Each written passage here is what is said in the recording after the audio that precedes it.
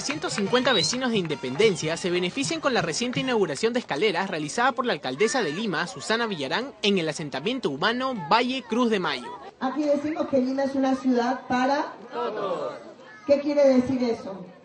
Que Lima solamente debe tener lugares con lugares donde se puedan subir y bajar con dignidad. En Miraflores, en San Isidro, en La Molina, no. Tiene que haber para todos.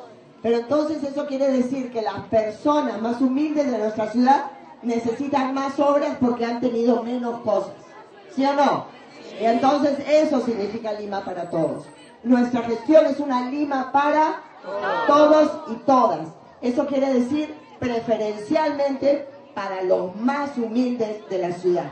Ahí es donde más plata se va en el presupuesto de la gestión de nosotros, de Fuerza Social. Y eso es lo que quería decirles.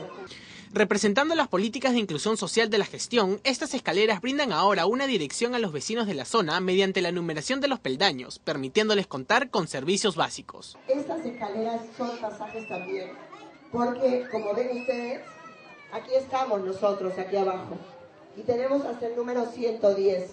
Desde ahora, cuando escriban en el DNI, van a tener una dirección.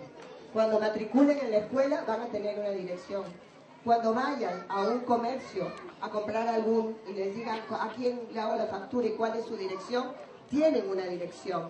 Eso es inclusión social, eso es justicia social. Esta obra, ejecutada con una inversión de más de 152 mil soles, logra que la población más necesitada de la capital se integre a la ciudad, porque estamos construyendo una Lima para todos.